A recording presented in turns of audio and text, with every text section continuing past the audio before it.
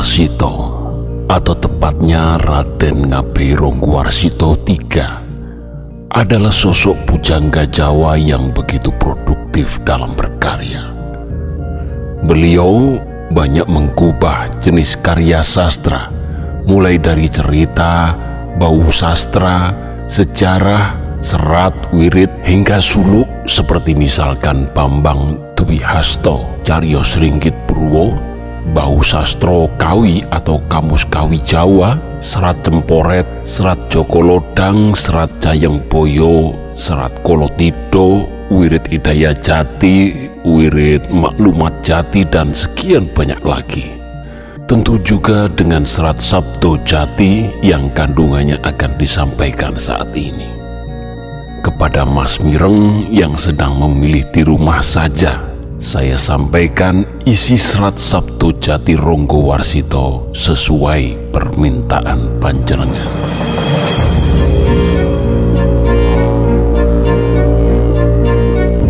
Mas Mireng, serat Sabdo Jati mengandung banyak petuah bagi manusia dalam menghadapi suatu zaman yang begitu merepotkan.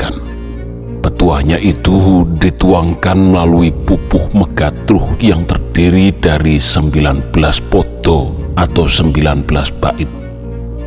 Megatruh sendiri adalah salah satu jenis tembang mocopat yang dari sisi penyebutan memiliki arti melepaskan roh, pisahnya roh dari raganya kembali ke asal alias kematian. Tembang Megatruh bermakna perjalanan atau tugas manusia di dunia sudah selesai.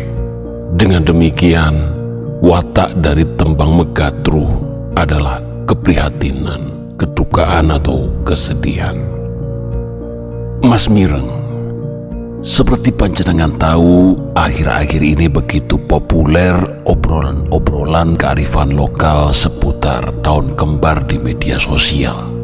Banyak yang mengkaitkan apa yang terjadi sekarang dengan sejumlah ramalan masa lalu. Meski demikian, apakah serat Sabdo Jati Rongguwarsito yang akan saya sampaikan kembali ini masih ada hubungannya atau tidak dengan situasi yang terjadi saat ini? Saya memasrahkan pada tafsir panjenengan sekalian.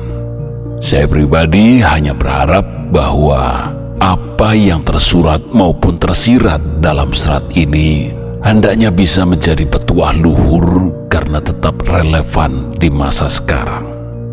Nah, Mas Mireng, sehubungan bahasa khususnya sastra Jawa itu kadang tidak mudah diterjemahkan dalam bahasa Indonesia atau bahasa lainnya. Maka isi serat Sabdo Jati yang akan saya sampaikan ini lebih menitik beratkan pada keluasan penyampaian agar pesan yang dikirim lebih mudah ditangkap oleh awam tanpa harus melalui pendekatan-pendekatan yang biasa digunakan dalam kasana sastra secara khusus.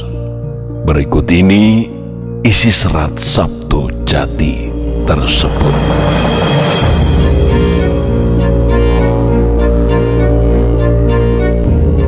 Jangan berhenti mencari jalan kebajikan untuk mendapatkan keselamatan, mewujudkan cita-cita, dan selamat dari perbuatan jahat.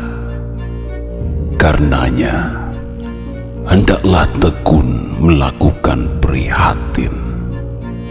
Perhatikanlah hingga sampai terpahami ketahuilah tujuan yang sebenarnya. Telitilah dengan seksama dan jangan sampai salah. Resapilah di dalam hati agar mudah menanggapi keadaan. Kebajikan bertujuan untuk menciptakan keselamatan melindungi hati yang jernih dan keheningan hati yang hanya berisi cipta sejati. Laksanakan kewajiban dengan kesabaran jiwa. Bila tidak, akan mendatangkan bahaya. tersusupi setan gundul yang menggoda dengan kendi berisi rupiah melimpah. Bila terpengaruh dengan perbuatan salah, akan menjadi sarang iblis, masuk ke dalam alam kerepotan, repot hati hingga gagal berbuat kebajikan. Bila sudah demikian, tak akan tertarik untuk melakukan kebajikan. Kebaikan hati akan menjauh, dikepung oleh perbuatan jahat, alpa dengan cinta kasih Tuhan, terputus dengan hiang manon.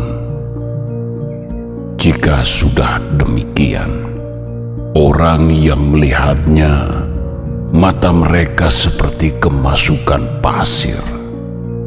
Banyak yang bersujud, mereka menganggapnya Jabaranil yang diutus oleh Hyang Manon. Bagi yang memahami kesejatian perintah Tuhan, akan merasa repot di dalam hati. Bila meniru orang jahat akan menjadi jahat hidupnya akan tercela dan rendah martabatnya. Itu artinya tidak percaya dengan kegaiban yang agung yang telah membentangkan langit dan bumi. Siapa yang berusaha dan tekun akan mendapat kebahagiaan dan kemurahan dari Hyang Manon. Tuhan akan memenuhi permintaan yang sungguh-sungguh dari semua umatnya.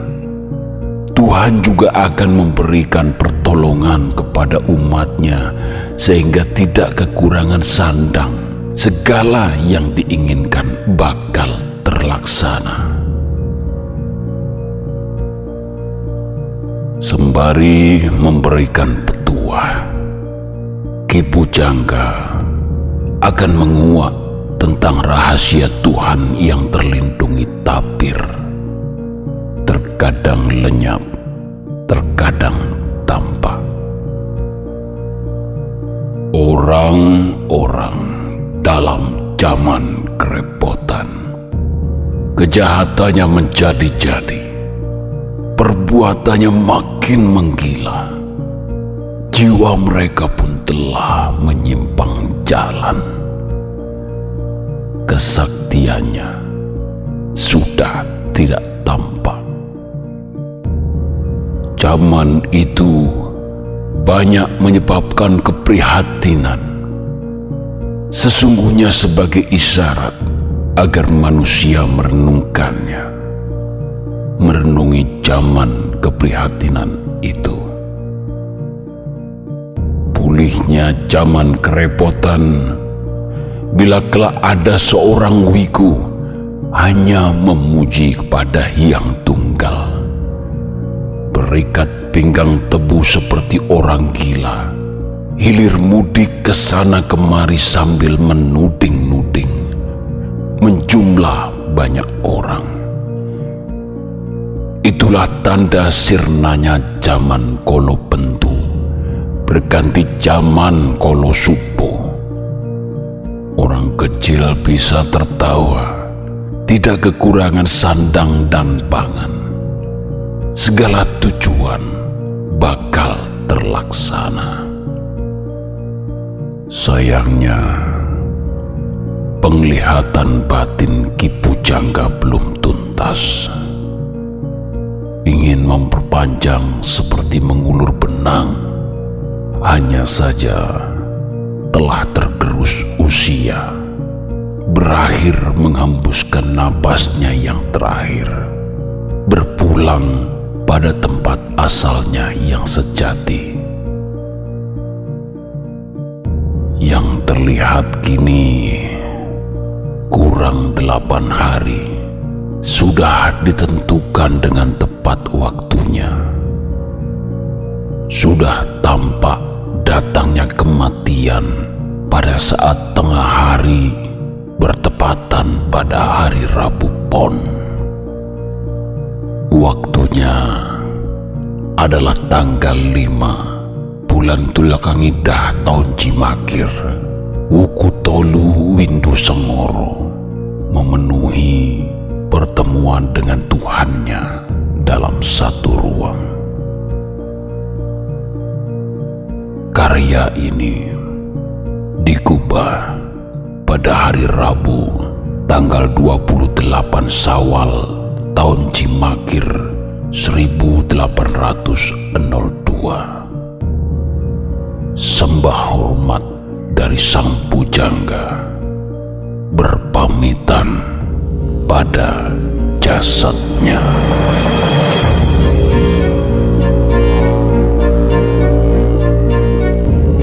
Mas Mireng membaca karya sastra bukan sekedar memahami maknanya yang tersurat, namun pula maknanya yang tersirat.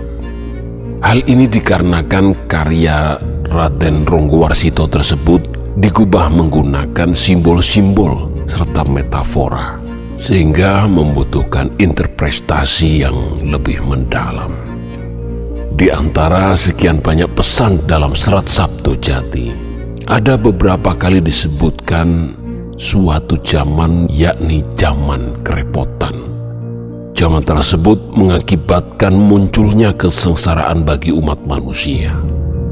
Di tengah zaman kerepotan, manusia masih ada yang tega mengambil kesempatan menghalalkan segala laku jahat untuk menguntungkan diri sendiri atau kelompoknya. Tidak tertarik untuk melakukan kebajikan, menyimpang dari ajaran-ajaran mulia serta menjauh dari jalan Tuhan. Zaman kerepotan menjadikan manusia serba salah untuk mengambil suatu tindakan. Dalam tangkapan batinnya saat memandang kondisi tersebut, Ronggo Warsito melihat bahwa manusia akan dihadapkan pada suatu pilihan yang sangat dilematis dan membingungkan. Meski demikian, Ronggo Warsito tetap mengajarkan kepada sesamanya untuk senantiasa melakukan kebajikan perbuatan yang mulia akan senantiasa menyelamatkan baik di dunia maupun di akhirat. Manusia akan menjadi memiliki kewaspadaan batin sehingga tidak mudah terjerumus ke dalam tindakan nista yang menyebabkan kesengsaraan. Mas Mireng, tidak ada hukum kelanggengan dalam hidup yang tunduk pada cokro manggilingan. Zaman kerepotan bagaimanapun juga akan berakhir dan lantas menuju zaman kemudahan. Suatu zaman yang dilukiskan oleh Porwin Nasis sebagai zaman emas, di mana apa yang ditanam pagi, sore tumbuh dan berkembang. Sore berkembang, pagi berbuah.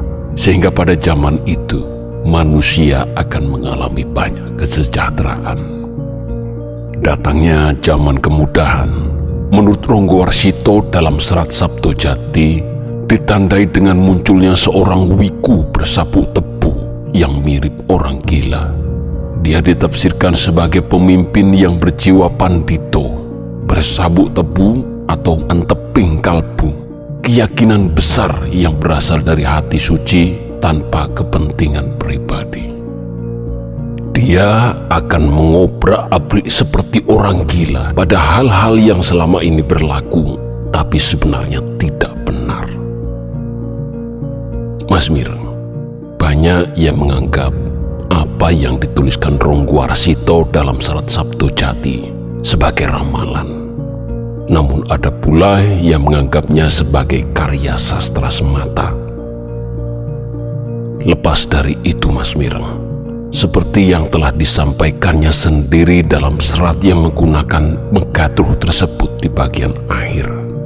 Ronggo Warsito dengan tepat menuliskan sebuah waktu kematian. Sejarah mencatat, itulah waktu kematiannya sendiri.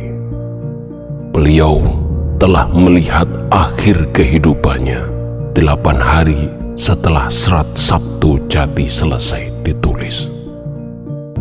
Jadi, apakah yang tertulis dalam serat Sabtu Jati ini adalah juga sebuah ramalan, tentu berpulang kembali kepada kita masing-masing. Demikian tulisan saya kali ini Mas Mireng. Sukses terus dalam cinta dan kehidupan